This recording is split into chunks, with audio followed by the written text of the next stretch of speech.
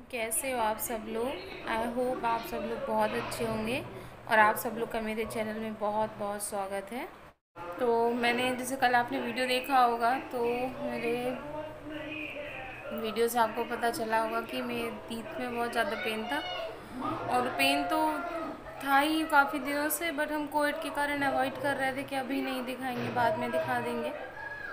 But कल बहुत ज़्यादा सीरियस हो गया था तो फिर हम दिखाने गए थे डॉक्टर को।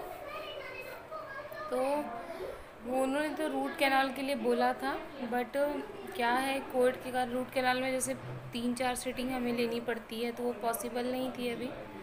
तो एक लास्ट ऑप्शन हमें मिला कि बस टूथ का एक्सटेंशन ही करा दो। तो कल मैंने बस पी थी एक्सटेंशन ही करवा दिया है। तो कल रात में तो बहुत ज़्यादा पेन था तो मैं बोल नहीं पा रही थी बट अभी तो बहुत ठीक है मतलब मैं बोल सकती हूँ, बात कर सकती हूँ। बस यही है कि अब बस एक दो दिन में वीडियोस अभी नहीं अपलोड कर पाऊँगी। उसके बाद फिर मैं वीडियोस अपलोड करूँगी।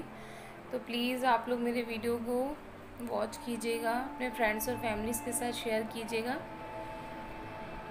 और प्लीज़ आप लोग भी अपना ध्यान रखिएगा, क्योंकि इस समय कोई डॉक्टर्स मिल तो रहे हैं डॉक्टर्स एमरजेंसी में मिल रहे हैं सारे डॉक्टर्स तो प्लीज़ अपना तो बिल्कुल बहुत ज़्यादा ध्यान रखिए, क्योंकि मैं कोई डॉक्टर ट्रीट करने के लिए तैयार नहीं है इस समय, क्योंकि सबको कहीं ना कहीं डर है थोड़ा सा कोविड का।